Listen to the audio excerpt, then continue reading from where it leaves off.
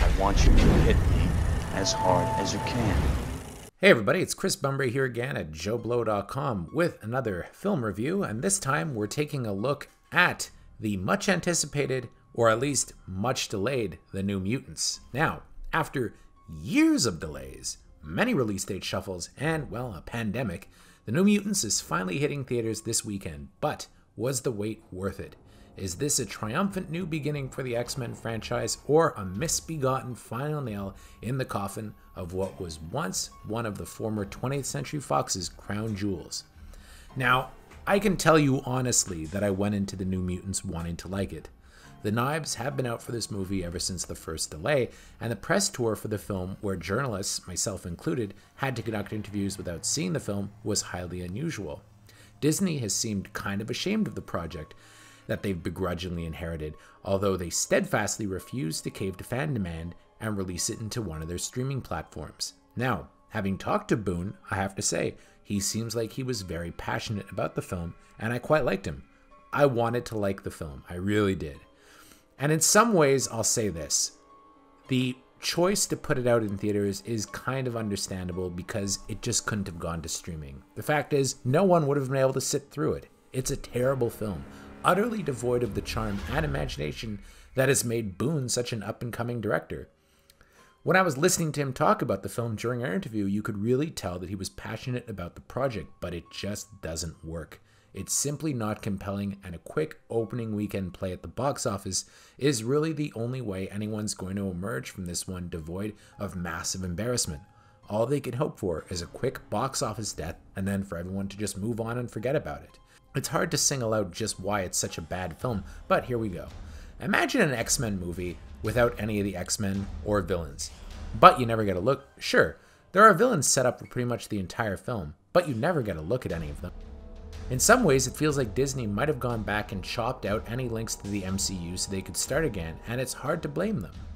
Unless you're a big devotee of the second string characters here, the young cast won't stand out in a big way. In the comics, the young team are students of Charles Xavier's, but here there's no real link to him outside of a few quick references.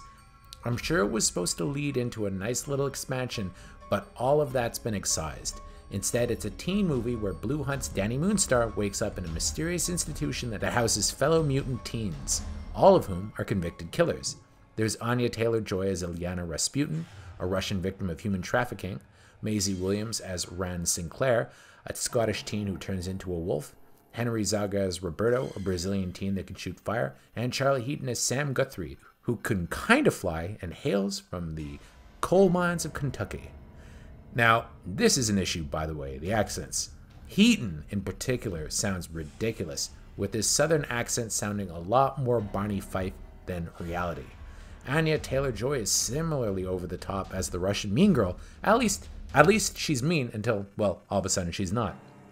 Only Williams comes off really well, but I suspect that's because she's the only really seasoned pro in the cast, with newcomer Blu Hunt sidelined in her own film, with her character, who's supposed to grow into Mirage, sitting out most of the finale. She spends an awful lot of the movie asleep, and I have to say, I kind of felt a little bit sleepy myself towards the end.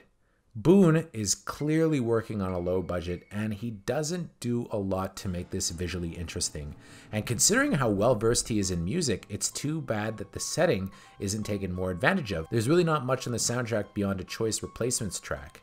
Alice Braga is the mysterious doctor running the facility who works for a shadowy organization we're asked to all but forget about at the end because, well, I guess it would dig too deeply into the X Men lore and prevent a more successful spin off. This is a one off for the franchise that sadly should have stayed buried, and one whose failure all involved will hopefully be able to just forget about. If you're really keen to return to theaters, this is not the movie to do it with. Just wait for Tenet. I give this one a very disappointing 2 out of 10. I really, really did not care for it.